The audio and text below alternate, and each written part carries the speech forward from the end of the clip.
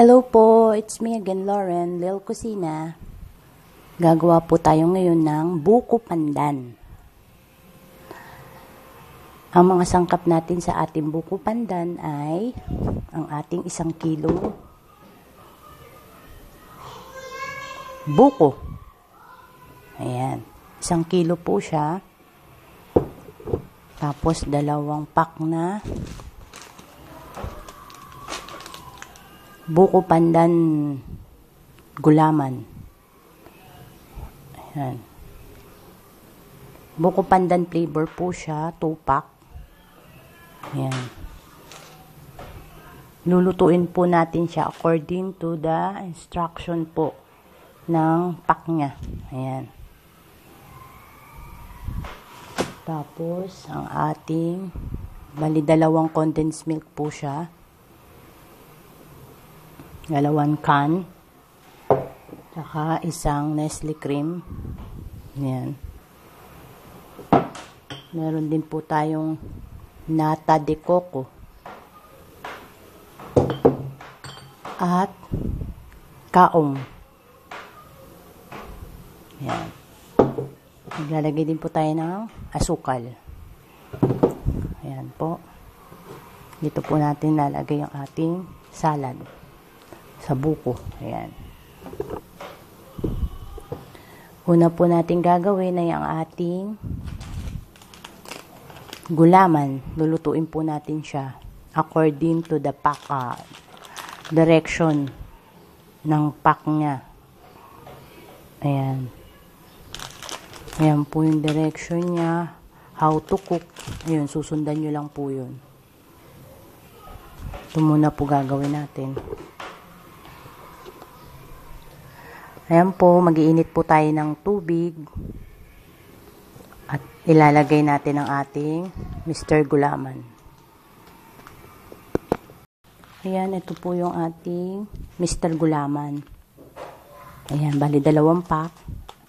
Nakalagay po rin sa ano niya, cooking direction sa pack, ah, 6 cup po ng drinking water or mineral water. Pero sa akin po, 5 cups lang po yung nilalagay kong tubig. Para medyo, pag ano po, pag kinain nyo po yung gulaman, eh medyo makunat-kunat ang lasa. Ayan. Ngayon maglalagay tayo ng tubig or mineral water.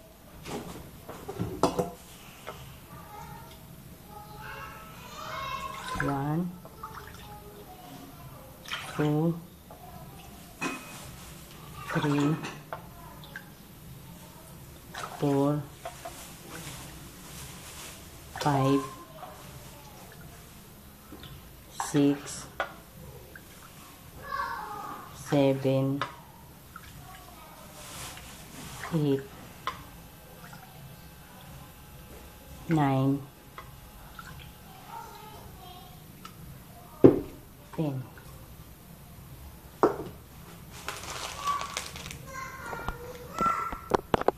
Ayan, ililipat natin dito.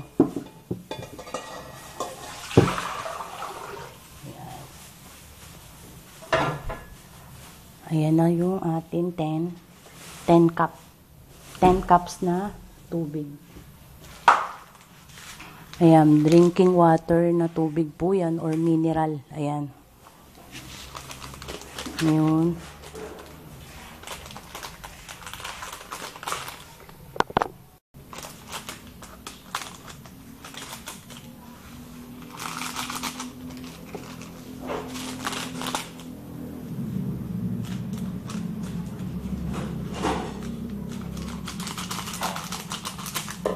Yan. Bali yung ginamit ko po is isang unflavored, isang pack na unflavored, tsaka isang buko pandan flavor.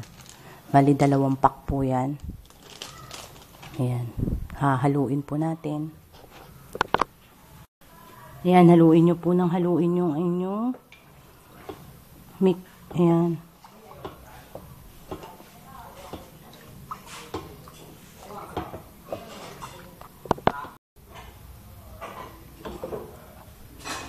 Ayan, haluin po ng haluin. mamumuo po yan. Kailangan haluin ng haluin. Hanggang maging pantay po yung powder gulaman. Maging matunaw po siya ng husto. Ayan.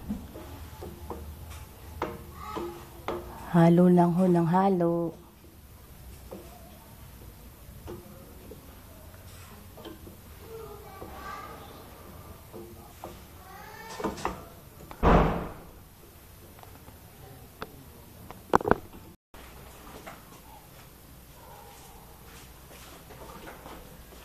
Ayan, luto ng ating gulaman.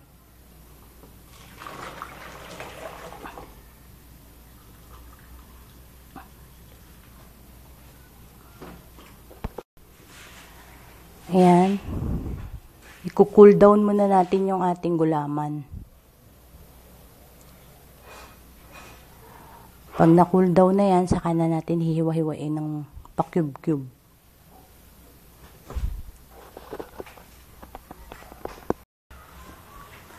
Ayan po, cool down na po yung ating gulaman.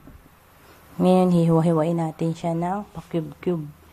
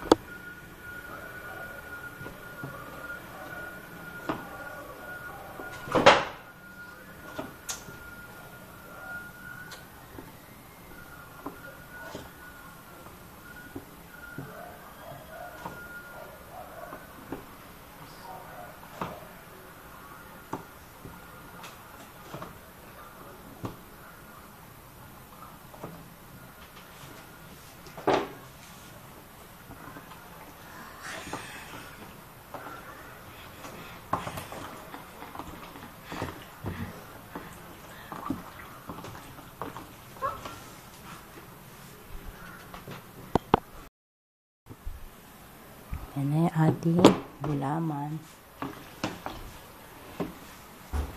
Ang lalagyan na natin yung ihalo na natin ang ating kaong.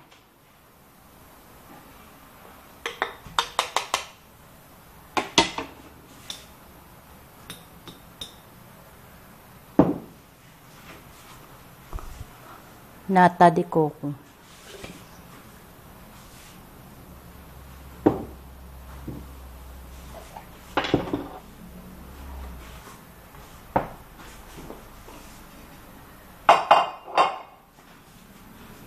Ang ating buko.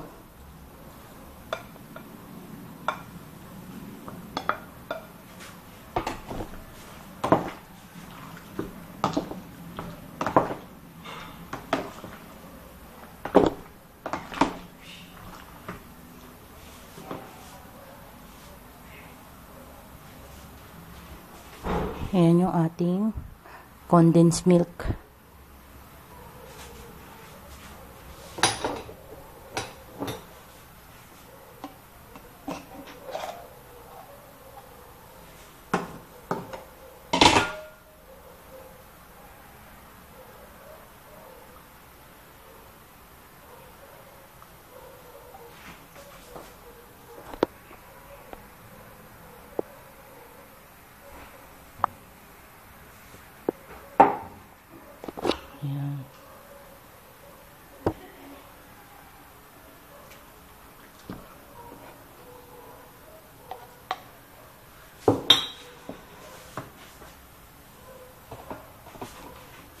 Yung ating cream.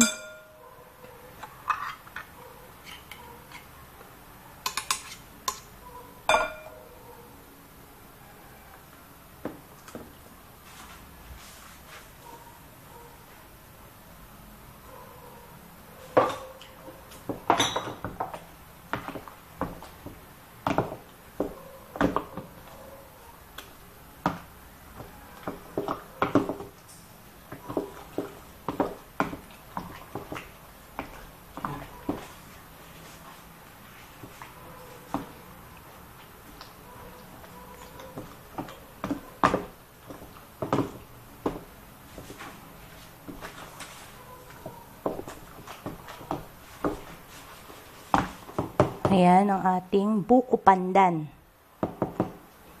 Mapalamigin muna natin yan sa ating refrigerator. Ayan. Okay na po. Nailagay na po natin ang lahat ng ating sangkap. Papalamigin po natin siya ng 2 to 5 hours sa ano po, refrigerator. Tapos, pwede nyo na pong i-enjoy after 5, 2 to 5 5 hours, pwede nyo na po i-enjoy. Pwede na po yung dessert. Buko pandan.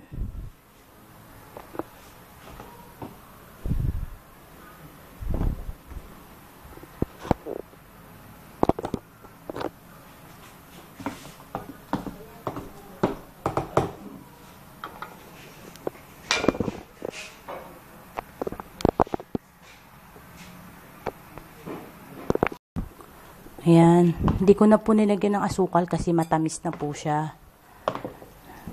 Ilalagay tayo ng pandan extract. Two drops lang. Two drops na pandan extract. Ayan.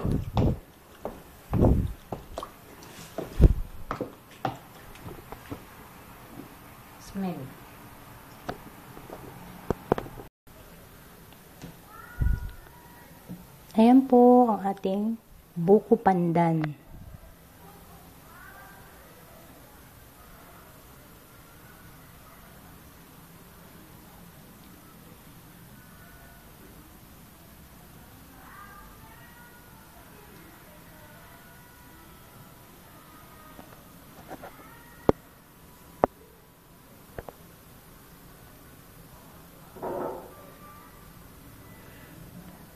Thank you for watching Lauren Dil Cusina.